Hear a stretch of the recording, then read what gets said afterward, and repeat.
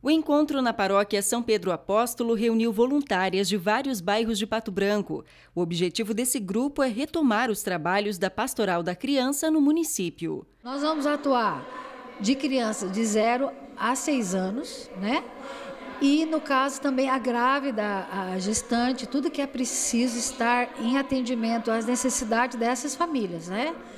já acompanhar todo o crescimento, toda a evolução dessas crianças, necessidade, todas as áreas que haver essa necessidade. Nós vamos estar acompanhando até ela completar esses seis anos de idade.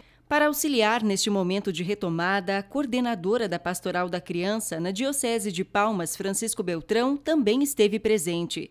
Isete falou sobre as ações que são desenvolvidas pelos voluntários da Pastoral em 36 paróquias que pertencem à Diocese.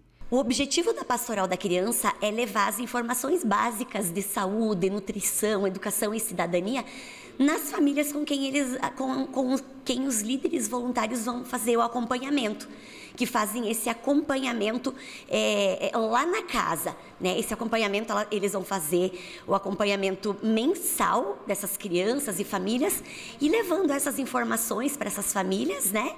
E, e, depois também encaminhando elas, se eles observarem assim é, qualquer é, é, é direito da família, da criança sendo né, violado, eles vão encaminhar para os órgãos competentes. Este é o trabalho, é a função do líder voluntário da pastoral da criança.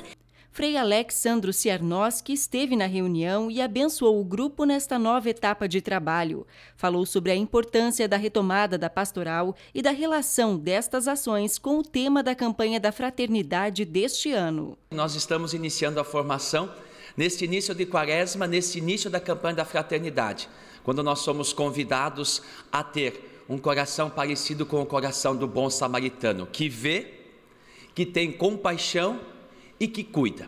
Nós queremos olhar para as nossas crianças, termos compaixão de modo especial com aquelas crianças que passam por situações mais difíceis e queremos ter gestos, palavras, atitudes concretas que ajudem a devolver a vida.